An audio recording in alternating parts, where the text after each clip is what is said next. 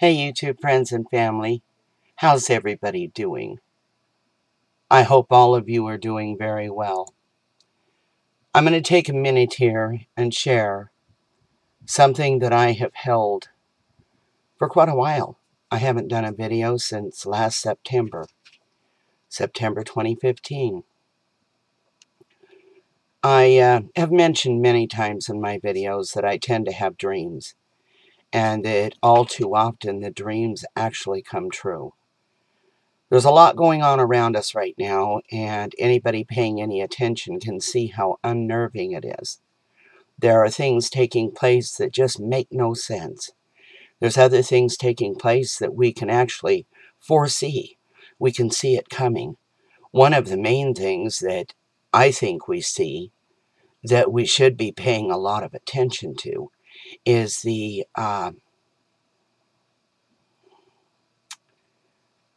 the uh, voice uh, openly that no matter who uh, is voting, that should one particular candidate get in by number of delegates, that that isn't going to count that they're going to jump in and put somebody else in that place. And, you know, it, it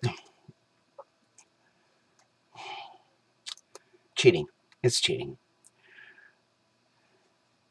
Quite some time ago, it was probably in July or August of last year. More like August, I think, I had a dream.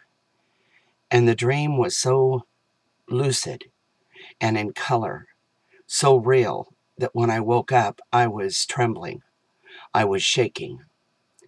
I'm going to share that dream. Now, keep in mind, I am not a prophet. I don't claim to see the future.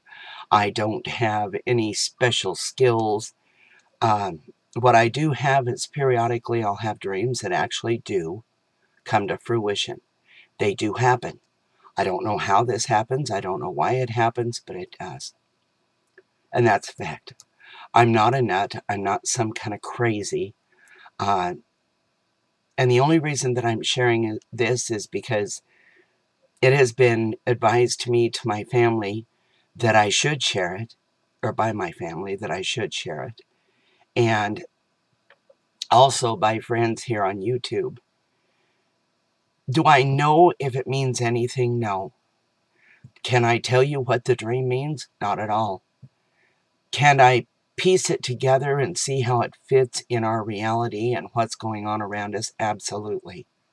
Does it make my hair stand on end? It certainly does. Am I concerned? More than I can even put into words. And that's why I'm going to share it. If anybody has any knowledge of what dreams mean or an opinion on this dream, please share it with me. The first thing that I want to point out is that through this dream, there are certain things happening that fit with the news. And one might think, well, you know, you were just thinking about it and that's why you dreamt it. Not at all. Not at all why I dreamt it. That I know. The dream starts out with me in a mini mall a little strip mall, little businesses connected together. And I'm in one that appears to be like a ceramic shop or glassware, something on that line, maybe China, Chinaware. Beautiful stuff. And I'm looking at it, and I turn and I face the outside window where I can see the street. And then I look to my left, or to my right, and I see a doorway. Beyond the doorway there is a table, and there are three men. Two of the men have like ninja gear on. That's black. Their heads are covered, part of their face is covered, all I can see is their eyes, and the rest of the gear is black. One man is all dressed in black, and all I see on him is a bearded face. And they're working at this table. I see pipes, I see wires, and odds and ends. But I'm watching one man connect these things, And I know in my mind he's building a bomb. And I'm thinking, why? That instant, why? The one man that does not have, that has his face bare, except for bearding and hair, he turns and looks right at me. And he gives me a very threatening look. Then he turns to say something to the other two men, which I cannot understand. I don't understand what he's saying. However, I know that I need to run. So I race out the door, and as I go out the door, I see that there's a parade, a big parade with floats and a person with a baton and a band and all these different people marching, and they've got American flags, and they're excited. You know, uh, you can just feel it. I see all of it, and I see it in color, and it's gorgeous. This wonderful parade coming down the street. Then I look to my right again and to my left at the sidewalk, and I see that there are people lined up all over. People on bleachers, people sitting on the curbs, as you would see in a town watching all the people watching the parade. But all the people on this side of the street are of color. I don't know what I'm supposed to say anymore. Am I supposed to say blacks? Am I supposed to say Afro Americans?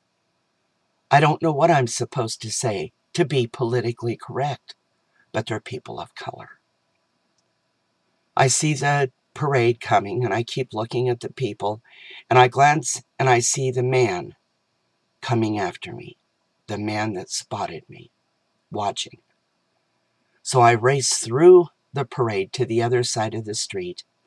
And I start running, and I note that everybody on this side of the street are of lighter skin, fair skinned, white people. Now, friends, before I go any further, please, please use your common sense, no matter the color of your skin. There is no such thing as white people. There is absolutely no such thing as black people. There is no black and white. We are all colored. We are all colored. I am not white, nor am I black. Neither are you, none of you. Not even an albino is white. That is a deliberate thing that they've done to us through history.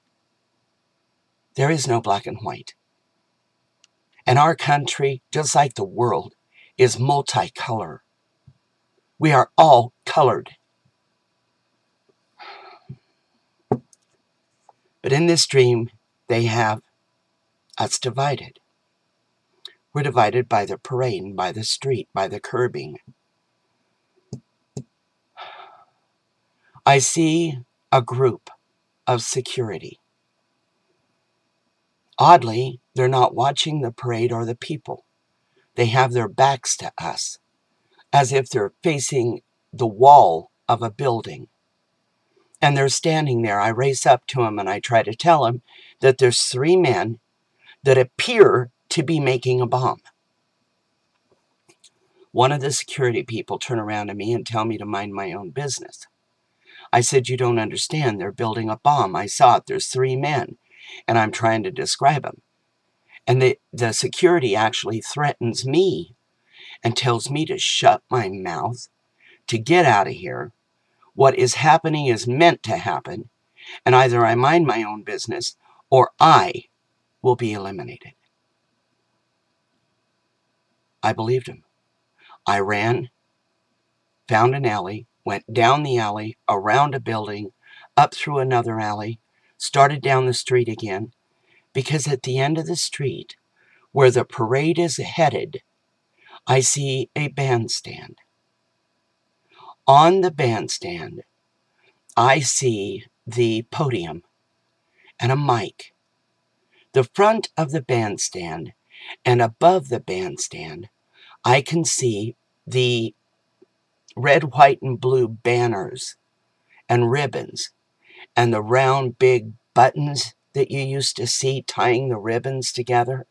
They would drape down like this, and they had the big button in the middle. So in my mind, I know it's election. The parade is headed to the ele- to the bandstand.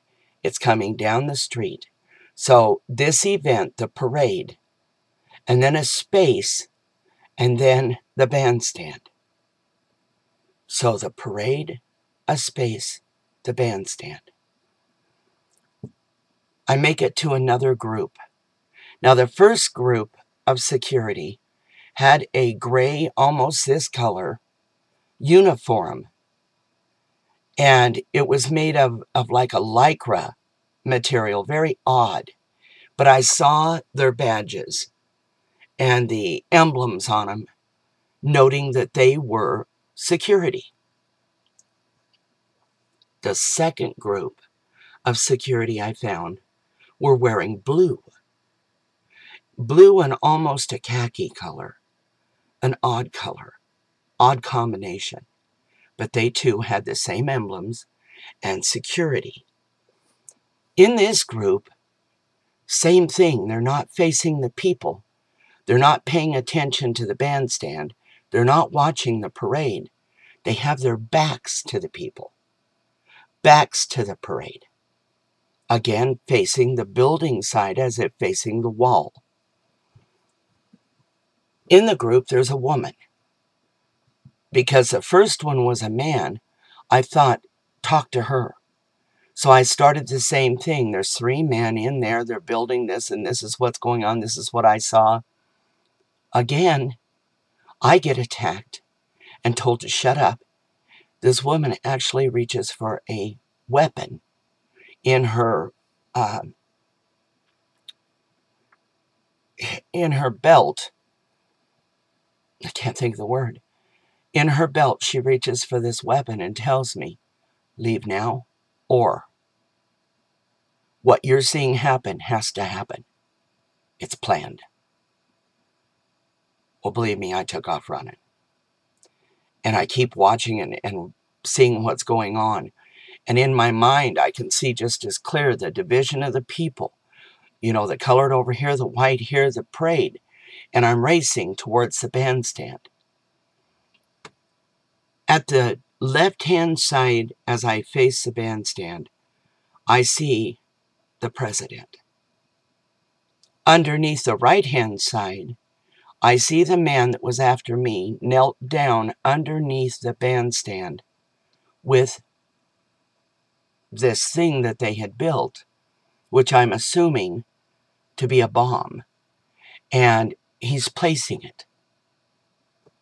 So I start screaming, and I'm yelling, Mr. President, Mr. President. There's nobody at the mic. The person's not there at the podium. There is nobody. I look back at the president and i have got my hand up in the air yelling at him. And he starts laughing. And he laughs.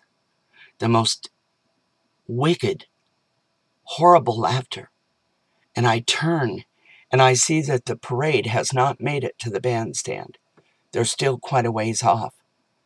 But it's coming down the road. I turn back to look at him and I hear the shuffling of security behind me. And I'm startled into waking up the end of the dream. What does it mean? I don't know. But it's haunted me every day. I have tried numerous times to do a video. Friends, family, I don't know if there's going to be an election. I don't know. What I see when I analyze this dream, and because there's been several other dreams, two in particular that are very prophetic, along with this one that I haven't shared yet. I see the parade. Could that be 4th of July? When else between now and then, or last September, and then between last September and in November for the elections, when is there going to be a parade? The only one I see is the 4th of July. The next parade would be Thanksgiving. So I only see the July, 4th of July parade. The space between the parade and the bandstand would be calendar. The distance between July, August, September, October, November. The space. The president laughing. Security not doing their job. The division of us people. The division that is taking place and has been taking place very hot right now. The division of we the people. Now, friends, if we don't unite and disregard and dismiss, throw away the putrid garbage of division, we are all in this together. This is our country. We are all Americans. There is evil taking place, wickedness. You know, one nation under God, one of many nations under God. We're in this together. If something's going to happen, is there going to be martial law? Is that why he was laughing? Has he stopped something? Is there not going to be an election? The division of people?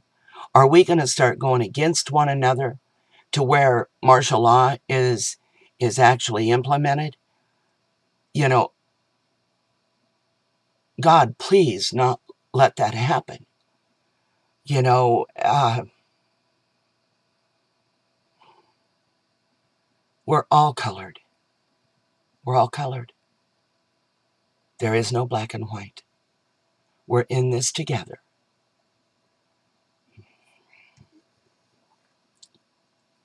They want to take Trump down. You guys need to question that. Why would they be so hell bent on taking Trump down? Because he's not in the DC club. It's that simple. He is not in the DC club. They can't afford for him to get in. They cannot let him in. Too many secrets. Too many hidden things. Too many hidden spells.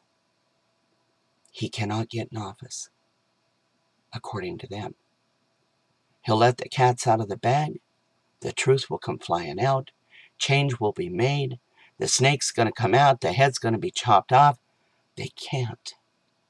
It's up to us to make sure that the DC club is gotten rid of, that it is disposed of, that it is no longer. I don't know if the dream meant anything. I know that I'm very shook up by it, and I have been for months. I haven't been able to get on here and talk because every time I wanted to talk about the dreams and friends and family, I have got some other dreams that will just blow your mind. Are they just dreams? I don't know. Do they mean something? Boy, they're awful real, awful lucid, and in color. Do they fit what's going on? Yes. Are we in danger with this influx of of uh, people that we don't know, people that mean ill on us? Yes. I have a daughter. I have granddaughters. I have got nieces. We have got children that we need to think of. Look at what they're doing in Europe. Look at what they're doing in France. Is that what we want for America? Is that what we want for our children? God help us. If this does not stop, if we don't unite, if we don't get past the division of people, how can there be hope? That is our hope. We must unite. And I say we all jump on the same bandstand and that we vote for the one person that does not belong to the club. Just saying. Don't think I'm trying to sway you. I'm trying to save us. Something's wrong. Something's not right. Too much devious. They're, they're already saying openly they're going to cheat on our votes. They're going to tear up our ballots. Are you going to accept that? Be careful planning things for your 4th of July. Pay attention. Keep, keep your eyes on things. Be observant. Work together. Please. A false flag? I don't know. I know what I see. And I know that it's haunted me. And I know that even as much as I pray about it, I'm told to share it.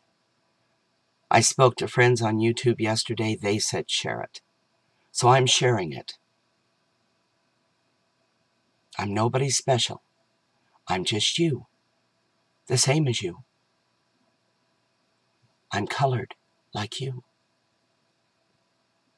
There is no white. There is no black. I love you all. And by the way, friends, Skybird Bird passed away. If you knew her, you were honored. She was beautiful. One of my best friends. We spoke all the time on the phone. She's left us. The MS finally took her down. What a loss. Margaret Pfeiffer couldn't handle the stress. The stress of YouTube and the, the attacks from trolls and the nastiness. She needed a break. So she turned off her internet. She's gone for a while. Hopefully she'll come back. We talk every day, or nearly every day, on the phone. Beautiful person. Anyway, great big hugs and a whole bunch of love. Be safe. If you have any idea what the dream might have meant, please tell me. Talk to me. And for anybody that wants to be nasty, God bless you. Now's the time to work together, not against each other. No division. We have to stop it. We're the only ones that can. Great big hugs and a whole bunch of love, guys. Later.